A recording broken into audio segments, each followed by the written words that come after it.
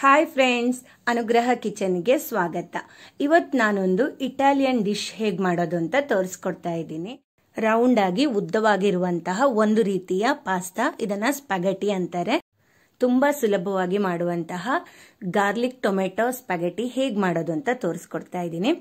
ಅದಕ್ಕೆ ನಾನಿಲ್ಲಿ three hundred ಗ್ರಾಮ್ನಷ್ಟು ಸ್ಪಗೆಟಿ ತಗೊಂಡಿದ್ದೀನಿ. ಹಾಗೆ ಆರರಿಂದ ಏಳು ಎಸಳು ಬೆಳ್ಳುಳ್ಳಿ ಕಟ್ ಮಾಡಿ ಇಟ್ಕೊಂಡಿದ್ದೀನಿ. ಸ್ವಲ್ಪ ಮಿಕ್ಸ್ಡ್ ಹರ್ಬ್ಸ್ ಇಲ್ಲ ಅಂದ್ರೆ ಕಸೂರಿ ಮೇಥಿ ಯೂಸ್ ಮಾಡಬಹುದು ಹಾಗೆ ಒಂದ್ ಸ್ವಲ್ಪ ಕಾಶ್ಮೀರಿ ರೆಡ್ ಚಿಲ್ಲಿ ಪೌಡರ್ ಉಪ್ಪು ಮತ್ತೆ ಆಲಿವ್ ಆಯಿಲ್ ಇಲ್ಲಿ ನೀವು ಆಲಿವ್ ಆಯಿಲ್ ಬದಲು ಯಾವುದೇ ಕುಕ್ಕಿಂಗ್ ಆಯಿಲ್ ಬೇಕಿದ್ರೂ ಯೂಸ್ ಮಾಡಬಹುದು ಹಾಗೆ ಟೊಮೆಟೊ ಮತ್ತೆ ಈರುಳ್ಳಿ. ಇದಿಷ್ಟು ಪದಾರ್ಥಗಳನ್ನ ನಾನು ತಗೊಂಡಿದ್ದೀನಿ. ಬನ್ನಿ ಹೇಗ್ ಮಾಡೋದು ಅಂತ ನೋಡೋಣ. ಒಂದು ಪಾತ್ರೆಗೆ ಎರಡು ಲೀಟರ್ನಷ್ಟು ನೀರು ಹಾಕಿ ಬಿಸಿಯಾಗೋದಕ್ಕೆ ಇಡಬೇಕು ಹಾಗೆ ಅದಕ್ಕೆ ಎರಡು ಟೀ ಸ್ಪೂನ್ನಷ್ಟು ಉಪ್ಪನ್ನು ಕೂಡ ಹಾಕೊಂಡಿದ್ದೀನಿ. ಎರಡು ಟೇಬಲ್ ಸ್ಪೂನು ಎಣ್ಣೆನ ಹಾಕೊಂಡಿದ್ದೀನಿ. ಎಣ್ಣೆ ಹಾಕೊಳ್ಳೋದ್ರಿಂದ ಸ್ಪೆಗೆಟಿ ಒಂದಕ್ಕೊಂದು ಅಂಟ್ಕೊಳ್ಳಲ್ಲ. ಇವಾಗ ನಾನು ಸ್ಪೆಗೆಟಿನ ನೀರೊಳಗೆ ಇಡ್ತಾ ಇದ್ದೀನಿ. ನೋಡಿ, ಈ ರೀತಿ ಇಡಬೇಕು. ಅದು ನೀರು ಕುದಿತಿದ್ದಂಗೆ ಒಳಗಡೆ ಹೋಗುತ್ತೆ. ಸ್ಪಗಟಿ ಬೇಯುವಷ್ಟರಲ್ಲಿ ನಾವು ಟೊಮೆಟೊ ಪ್ಯೂರಿನ ರೆಡಿ ಮಾಡ್ಕೋಬಹುದು. ನಾನಿಲ್ಲಿ ಐದು ಟೊಮೆಟೊ ತಗೊಂಡಿದ್ದೀನಿ. ಇದನ್ನ ಸ್ವಲ್ಪ ದೊಡ್ಡ ದೊಡ್ಡಕ್ಕೆ ಕಟ್ ಮಾಡಿಬಿಟ್ಟು ಮಿಕ್ಸಿ ಜಾರ್ಗೆ ಹಾಕಿ ಗ್ರೈಂಡ್ ಮಾಡ್ಕೋಬೇಕು.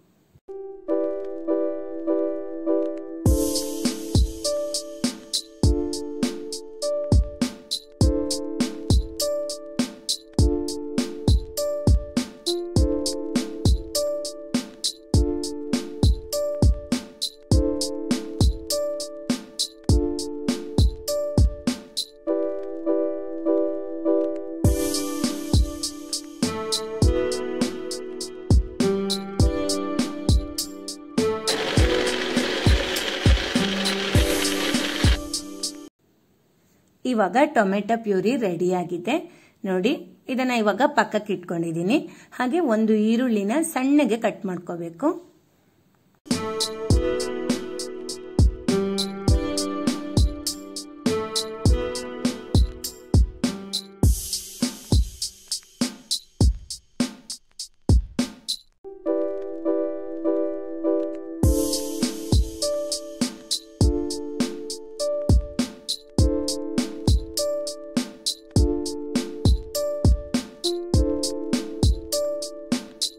ಕಟ್ ಮಾಡಿದ ಈರುಳ್ಳಿನ ಒಂದು ಪ್ಲೇಟಿಗೆ ಹಾಕಿ ಇಟ್ಕೊಳ್ತಾ ಇದ್ದೀನಿ.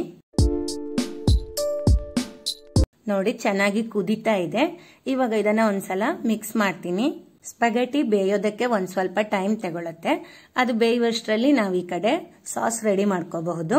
ಇವಾಗ ಒಂದು ಬಣಲೆ ಬಿಸಿಯಾಗೋದಕ್ಕಿಟ್ಟು ಅದಕ್ಕೆ ಎರಡು ಟೇಬಲ್ ಸ್ಪೂನ್ನಷ್ಟು ಆಲಿವ್ ಆಯಿಲ್ ಅನ್ನ ಹಾಕೊಳ್ತಾ ಇದ್ದೀನಿ. ಇವಾಗ ಇದಕ್ಕೆ ಕಟ್ ಮಾಡಿದ ಬೆಳ್ಳುಳ್ಳಿನ ಹಾಕೊಳ್ತಾ ಇದ್ದೀನಿ. ಬೆಳ್ಳುಳ್ಳಿನ ಒಂದ್ ಸ್ವಲ್ಪ ಎಣ್ಣೆಲಿ ಹುರಿಬೇಕು.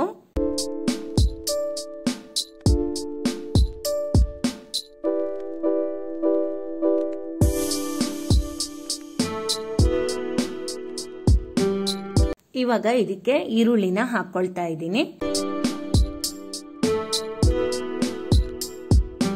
ಇದನ್ನ ಚೆನ್ನಾಗಿ ಮಿಕ್ಸ್ ಮಾಡಬೇಕು. ಸ್ಪಗಟಿ ಬೆಂದಿದ ಅಂತ ನೋಡೋಣ. ಕೈಯಿಂದ ಈ ರೀತಿ ಮಾಡಿದಾಗ ಅದು ತುಂಡಾದ್ರೆ ಬೆಂದಿದೆ ಅಂತ ಅರ್ಥ. ಇವಾಗ ಸ್ಪಗಟಿನ ನಾನು ಈ ರೀತಿ ಕಣ್ ಕಣ್ಣಿರುವಂತಹ ಪಾತ್ರೆಗೆ ಹಾಕಿಟ್ಕೊಳ್ತಾ ಇದ್ದೀನಿ. ಯಾಕಂದ್ರೆ ನೀರೆಲ್ಲ ಅದರಿಂದ ಸೋಸಿ ಹೋಗತ್ತೆ ಅಂತ. ಸ್ಪಗಟಿನ ಗೋಧಿಯಿಂದ ರೆಡಿ ಮಾಡೋದ್ರಿಂದ ಇದು ಹೆಲ್ದಿ ಕೂಡ.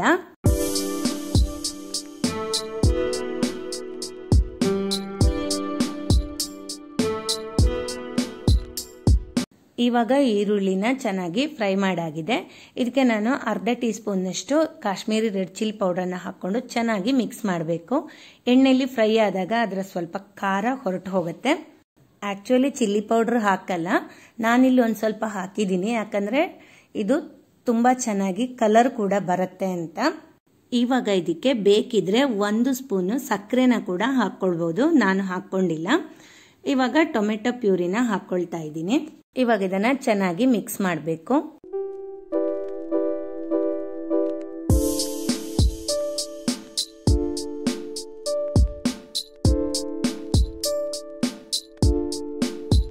ಇವಾಗ ಇದಕ್ಕೆ ಅರ್ಧ ಟೀ ಸ್ಪೂನ್ ಅಷ್ಟು ಉಪ್ಪು ಹಾಕೊಂಡಿದ್ದೀನಿ ಹಾಗೆ ಚೆನ್ನಾಗಿ ಮಿಕ್ಸ್ ಮಾಡಿ ಇದನ್ನ ಕುದಿಸ್ಕೊಳ್ಬೇಕು.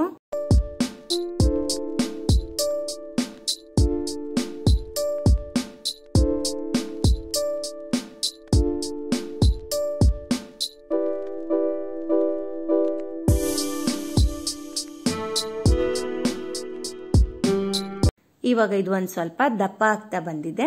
ಇದಕ್ಕೆ ನಾನು ಒಂದು ಟೀ ಸ್ಪೂನ್ನಷ್ಟು ಮಿಕ್ಸ್ಡ್ ಹರ್ಬ್ ಹಾಕೊಂಡಿದ್ದೀನಿ. ಇವಾಗ ಇದನ್ನ ಚೆನ್ನಾಗಿ ಮಿಕ್ಸ್ ಮಾಡಬೇಕು.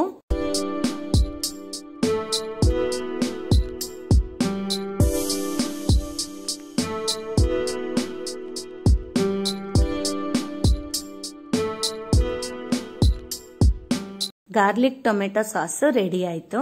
ಇವಾಗ ಇದರಿಂದ ಒಂದು ಸ್ವಲ್ಪ ಸಾಸನ್ನು ನಾನು ತೆಗೆದಿಟ್ಕೊಳ್ತಾ ಇದ್ದೀನಿ.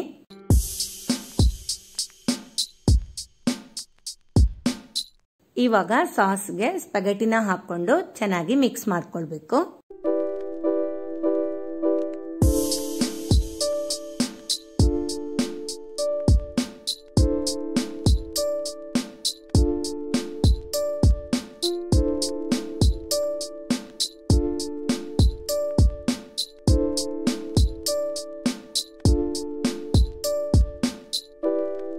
ನೋಡಿ ಇವಾಗ ಇದು ಚೆನ್ನಾಗಿ ಮಿಕ್ಸ್ ಆಗಿದೆ. ಇವಾಗ ಸ್ಟವ್ ಆಫ್ ಮಾಡಿಕೊಂಡು ಸರ್ವಿಂಗ್ ಪ್ಲೇಟ್ಗೆ ಹಾಕ್ಕೊಳ್ಳೋಣ.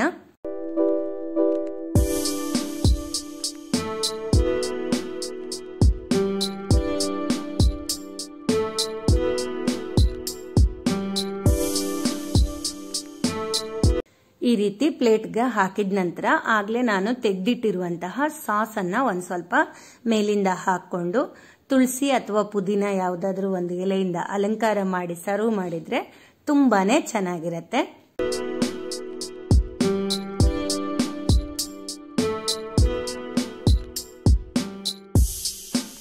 ಈ ವಿಡಿಯೋ ನಿಮ್ಗೆ ಇಷ್ಟ ಆಗಿದ್ರೆ ಲೈಕ್ ಕಮೆಂಟ್ ಶೇರ್ ಮಾಡೋದನ್ನ ಮರಿಬೇಡಿ. Thank you